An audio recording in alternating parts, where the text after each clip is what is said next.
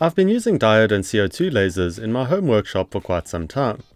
Combined with a 3D printer, they've been fantastic for bringing my project ideas to life. My main go-to laser is the Gweike Cloud 50 watt CO2 laser. So when Gweike reached out about their latest fiber laser, I couldn't help but take them up on the offer. Being a fiber laser, the G2 Pro is quite different to any of the other lasers that I've used previously. Not only does it look and function differently, but it's able to engrave and mark different materials too. I was particularly interested in its ability to engrave metals, with the possibility to engrave stainless steel in color, and I wanted to see whether I could use it to engrave or mark 3D printed parts and enclosures. I've often wanted an easy way to label the ports or I.O. interfaces on an enclosure, but this has always turned out to be quite difficult to do. With advancements in 3D printing, I can add labels to the enclosure by changing filament colors, but this makes the prints take much longer, and you're quite limited in the detail or the clarity of text that this method's able to produce. You can't really produce crisp readable text smaller than about 8mm. I've experimented with laser engraving onto 3D printed parts in the past with diode and CO2 lasers, but the main issue is that the 3D printed plastic melts rather than being marked or engraved. In some cases you can see the text, but it's because a layer or two of the 3D print has been removed. Fiber lasers have a fixed head and move the laser dot through a series of rotating mirrors, so they're able to move orders of magnitude faster than a CO2 or diode laser, which needs to move the whole gantry. The G2 Pro claims a maximum speed of 15,000 mm per second, while a typical CO2 laser like the Glowforge or Gweike Cloud can only do a couple of hundred millimeters per second. With a fiber laser, the area being marked is exposed to the laser dot for such a short period of time that the plastic doesn't have a chance to melt, this is not the only reason that a fiber laser can mark plastics better. The wavelength and frequency of light produced make it much better at marking plastics and metals than CO2 and diode lasers. To figure out what settings produce the best results on 3D printed parts, we first need to do some testing. There are a lot of variables that can be tweaked, but the main three settings are the laser speed, which is how fast the dot moves across the surface, the laser power, which is how much of the laser's strength is used as a percentage, and then the frequency, which is how quickly the laser dot pulses on and off. I ran quite a few tests to try out different speed, power and frequency settings, which I won't bore you with too much, but essentially my findings were that the laser speed needs to be quite fast, the power needs to be very low, and the frequency works best at the higher end of the range that the laser can handle. With the G2 Pro, these settings are a speed of 7000mm per second, a power of 15%, and a frequency of 150 kHz. The settings also vary depending on the type and color of filament being used, but these work as a good starting point for most dark PLA filaments, which is what I tend to use most often. Given that the laser essentially decolors or bleaches the filament, it works on a range of colored filaments, but obviously won't be able to mark white or very light colors. I prepared these 3D printed side panels for my Pi 5 NVMe case, and then drew up a circuit board trace pattern and some text to engrave onto them. There's a red outline marker that helps guide placements of the components on the bed. And on this model, the laser height is electrically adjustable. This allows you to set the focus distance to the top surface of the object being engraved. The G2 Pro flies through engraving the intricate circuit board patterns, this is recorded in real time and would have easily taken 20 to 30 times longer on a diode or CO2 laser if I were engraving onto a material like wood or acrylic. A second pass helps clean up the dark spots and makes the text and lines a little bit more defined.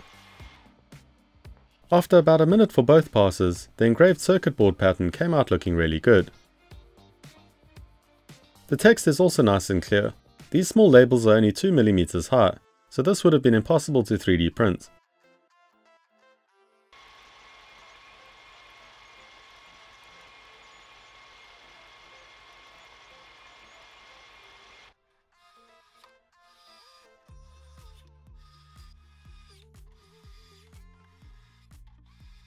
I really like how much character can be added to plane surfaces by being able to mark 3D printed parts.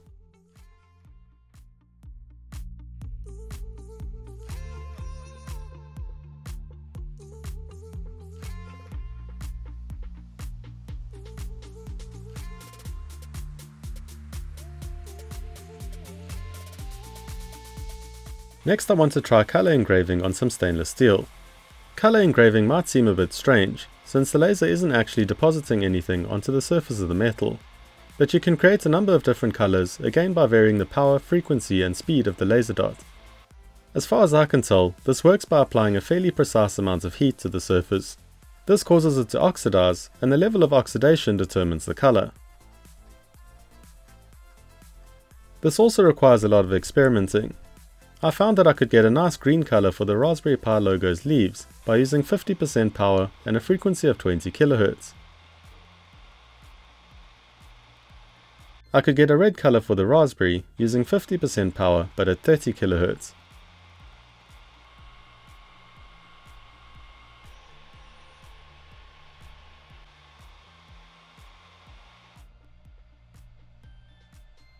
On the opposite side panel, I put a similar circuit board pattern, but this time I'm trying to engrave it in a dark reddish gold color, which I'll do at 40% power and 30 kHz.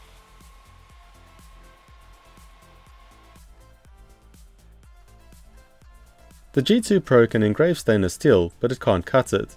So I had to make the rest of the cutouts to turn these into side panels for my Pi case using a Dremel. I think the colors came out really well. I'm not sure how durable they'll be, but the graphics seem to be quite well etched into the surface.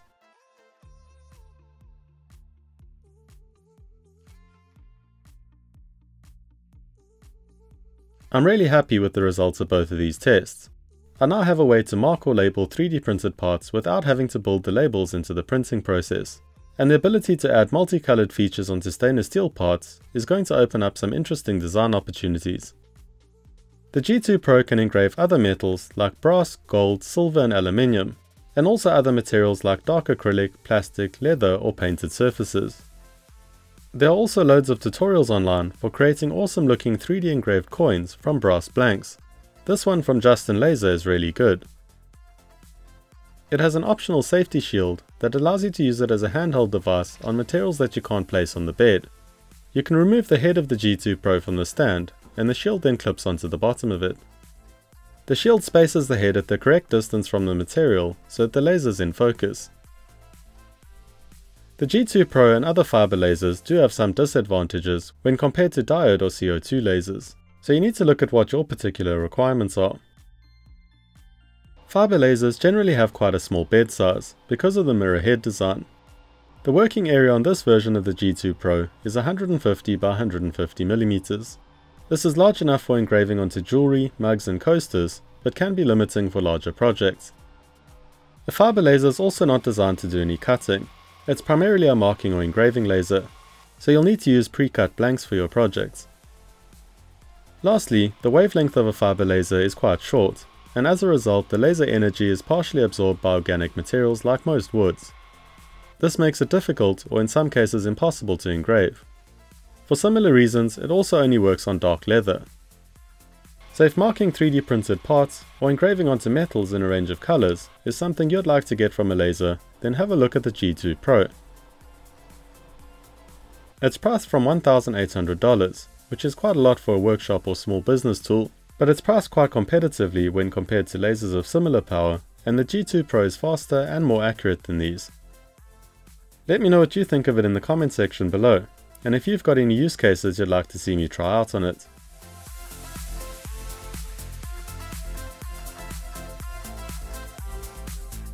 Thanks for watching.